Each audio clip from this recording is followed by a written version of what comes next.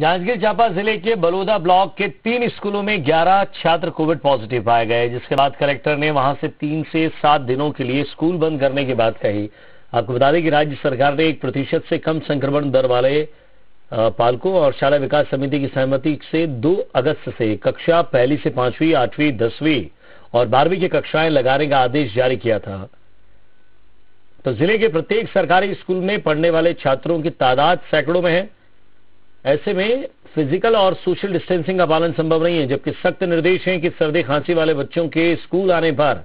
प्रतिबंध है, मगर ज़्यादातर स्कूलों में थर्मल स्कैनर सैनिटाइजर की व्यवस्था ही नहीं है। इसके चलते कोरोना गाइडलाइन का पालन सही ढंग से नहीं हो पा रहा है।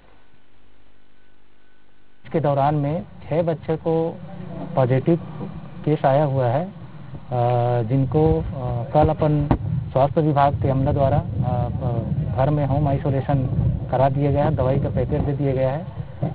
स्वयं स्वास्थ्य विभाग वाले और मैं भी उनके घर जा जाकर निरीक्षण कर देखे, बच्चे लोगों का स्वास्थ्य ठीक है। इन स्कूलों को हमने तुरंत बंद करा दिया है।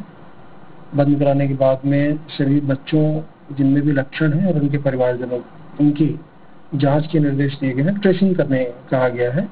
इसके अलावा एक चीज़ और जो चीज़ हम कर रहे हैं स्पेशली जो ग्रामीण एरिया है कि वहाँ शत प्रतिशत वैक्सीनेशन हो इसलिए स्पेशल कैंप भी लगाए जा रहे हैं।